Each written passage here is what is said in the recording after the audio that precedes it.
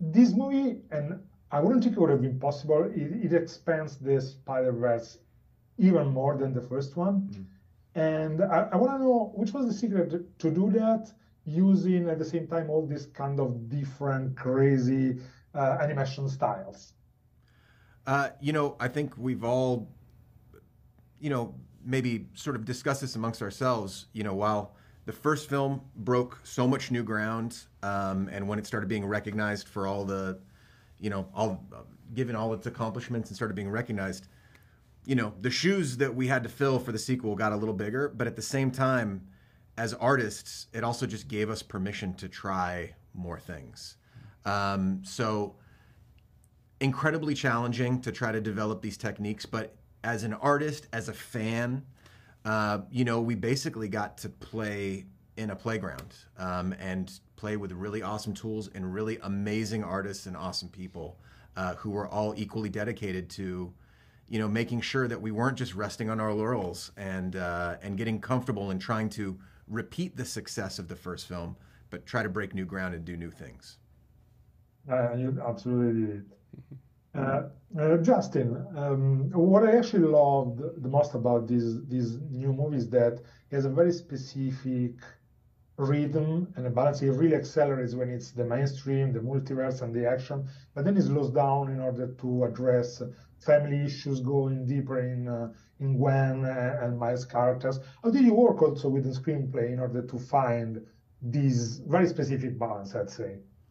I think from the very beginning, all three of us knew that if we were going to make a big spectacle-driven movie about all these different dimensions, the only thing that would make it matter is if there was something strong, a very strong emotional sense of stakes to the whole film that uh, uh, with these characters and, and their families and, and their personal lives and that we could see ourselves in and our own conflicts with our own families that we could relate to if we didn't make that matter if we didn't make that matter none of the spectacle was going to mean anything it would have just been a bunch of loud noises and fast mm-hmm. moving visuals. Mm-hmm. And so what we tried to do was purposely pick moments in the film where it would slow down and you would be with these characters. Yeah. And I think those are the ones we worked the longest yeah. on. Yes. Actually the the, the action and the, the big stuff was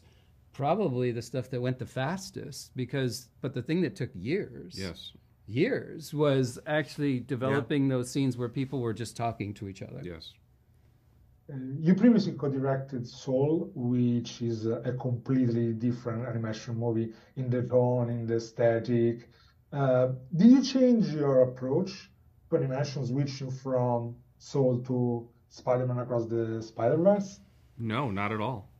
This is storytelling. Uh, it's just, and and it, it's it's the opposite of changing your approach. You we we bring our unique approaches to everything we do. I think that's part of why we're asked to do these projects and, and work on these projects. Like Justin was mentioning, uh, you know, there's a one, there's you can't you, you won't have a good film if you if you lose sight of the emotion and the character and the emotional stakes as much as the world challenging stakes.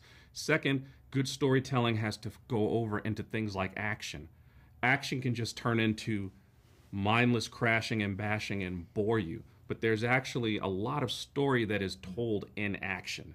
And, and I think people sometimes might not appreciate that quite as, as much so that you know there even the action scenes if it, if it doesn't if it's not speaking to the story to the central plot and moving the characters along we don't have it in the film so so if anything i think that working on um, the emotional elements the beats of a film like soul actually prepared me to to to do a film like this. I felt that while the first movie deals with what it means in some way to be Spider-Man, this second one deals a little bit more about what it means to be Miles Morales.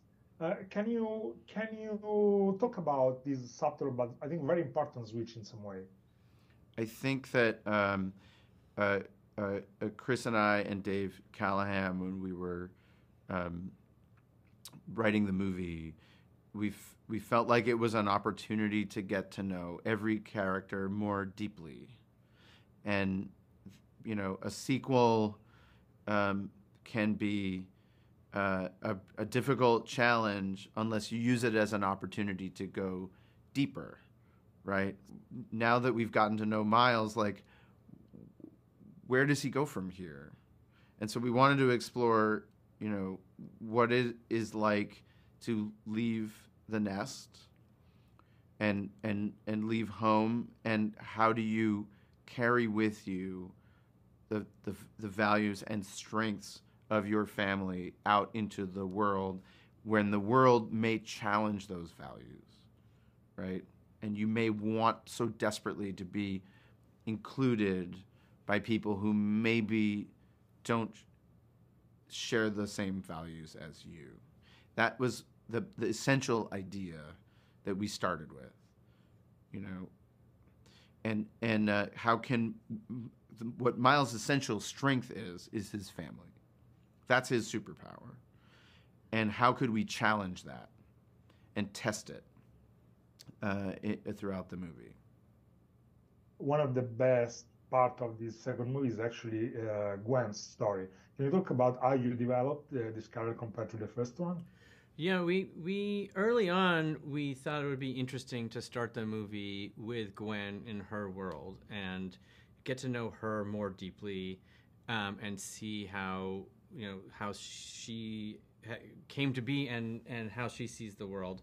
And it would be an opportunity to show the audience you know a wholly different style of of how a, a world can look but also more importantly it gets you to understand like what her issues going on in her world are with her her dad uh, and how that it relates to the stories going on with Miles, and um, and so it was it was unconventional because obviously Miles is the is the you know is the protagonist of the movie, but Gwen is such an important part of of that story. We wanted her uh, her to be uh, important as well, and her arc that she has with her dad that, that sort of the movie begins and ends with uh, is a really important thematic uh, and emblematic of, of the story we're trying to tell from uh, about parents and children and and parents needing to grow up just as much as as the kids are and, and how relationships evolve uh, and how everyone needs to grow and evolve with them.